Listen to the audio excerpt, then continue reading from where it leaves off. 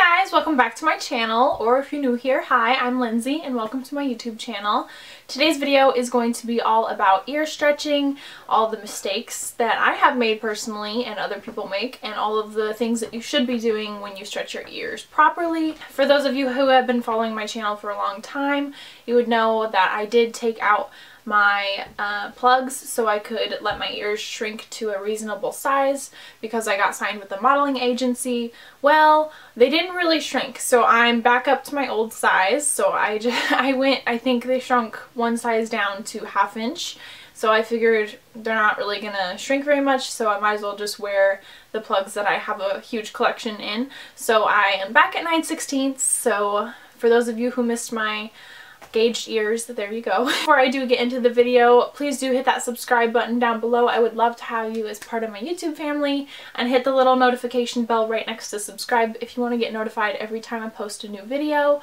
And thumbs up the video if this helps you out at all and leave any comments if you have any tips and tricks for other people that maybe I didn't go over in the video. I would love to hear your guys' feedback. I'll also have my Instagram and my Twitter linked down below so go check me out on there. So for those of you who don't know anything about stretching ears, Stretching your ears is a gradual process and it goes from regular ear piercing size until whatever size that you want to stop at. For me, I feel like anything past 9 16ths is going to be too big for my ears so I stopped at this size because I do have pretty small ears. So this is the size that I'm at right now and this is what they look like without anything in them.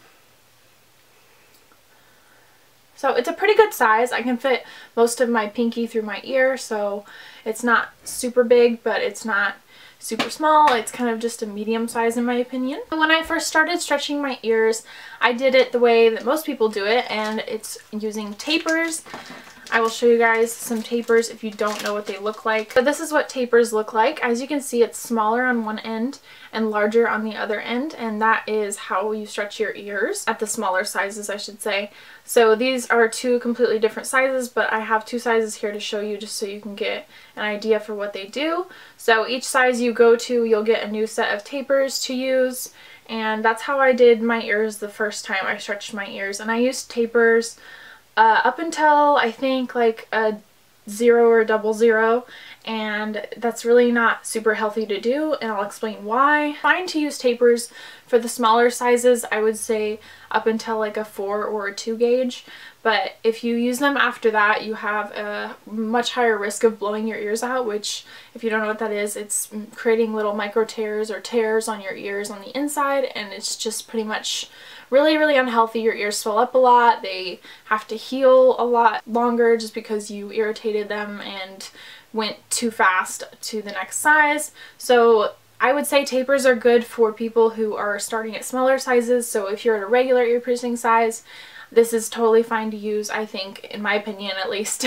for the smaller sizes because it's a lot less of a jump at the smaller sizes. So as you're putting the taper in, you're really not stretching your ear too much. So I would say maybe use tapers up until about this size, which this is a 4, and then maybe maybe even a 2, just depending on how easily your personal ears stretch. But past that, I wouldn't really risk blowout uh, on your ears. Just be super careful.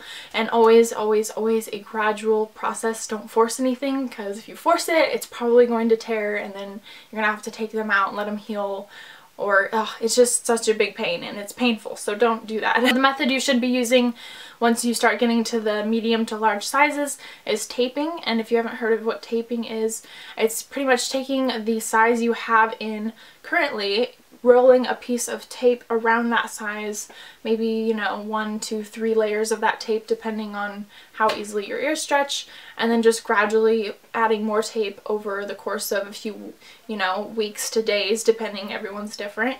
However much your ears will let you stretch at that time. Use tape to go up and up and up and up until you get to the next size, if that makes sense.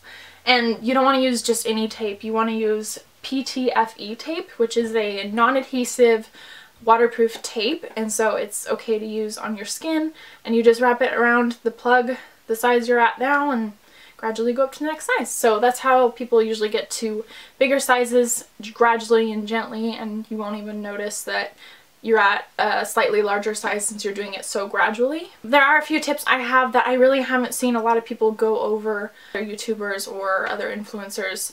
I just haven't seen them mention these so I really wanted to make this video so you guys could have these tips if you are stretching your ears right now. First tip I have is to always stretch your ears after a hot shower and the reason for this is your tissue on your ears is going to be super pliable and stretchy after a hot shower.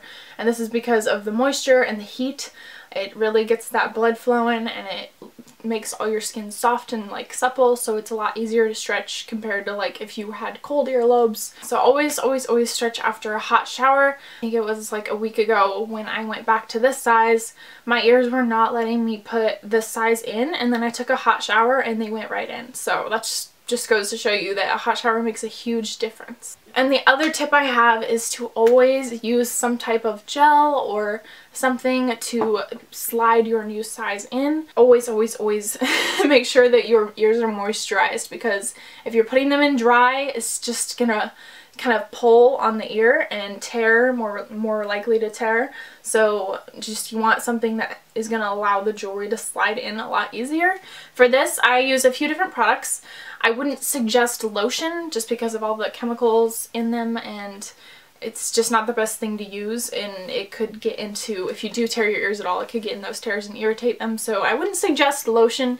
It's okay to use lotion on your earlobes when they're healed, but not for stretching. So I would suggest some type of sterile gel. You can probably get this from a piercer. If I don't know if they hand it out at most piercing shops, but um, my piercing shop does. So it's just a sterile gel that you can use to stretch your ears. Or I have seen other people use Aquaphor, and this is what I use to heal my tattoos and you can also use it on your ears. Ears just to moisturize it as you're going to the next size. So those two things are super helpful for stretching and a hot shower is always going to make a huge difference. And you also want to make sure that when you are stretching your ears, you're nice and calm, you're in an undistracted environment. I don't know, I don't know. I just feel like whenever I'm putting jewelry in or I'm stretching my ears, I just really need to focus. So just make sure you're in like a nice calm environment maybe by yourself or with somebody you're comfortable with. Also, wear gloves, please, while you stretch your ears. You are, even though you're not doing a new piercing, it's just more sterile to wear gloves. I mean, I didn't do that when I stretched my ears, but I always made sure I washed my hands if I didn't have gloves. So yeah, one of the two preferred gloves, but if you don't have gloves, then wash your hands. Another tip I don't really see people mention is wearing a pair of heavy plugs. So if you're at a size and you want to go to the next size, you need to wear a pair of plugs at the size that you're already at that are heavy and that's going to help your ears sag and stretch naturally a lot more. So a pair of like heavy metal plugs is going to do this. That's exactly what I did with my last size when I was at half inch. I wore a, a pair of solid stainless steel plugs and it just like weighed my ears down and made it so much easier to get my next size in. So a pair of heavy plugs will do you wonders along with a hot shower and um, some type of gel to help the jewelry go in. I think I covered everything in this video. If I didn't, please leave me a comment if you have any other tips that maybe you know about that I don't. Uh, I hope this helped you if you are stretching your ears right now. Please leave me a comment telling me if it did help you. Hit that thumbs up button if this helped you out at all, if any of these tips were new maybe.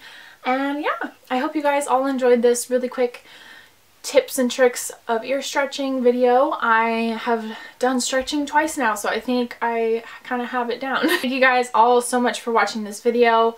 Please do hit that subscribe button if you haven't already and hit the little bell next to it if you want to get notified when I post new videos. I will also have my Instagram and my Twitter linked in the description box down below, so go check me out on those social medias if you want to follow me on my day-to-day -day basis. See you guys in my next video. Bye guys!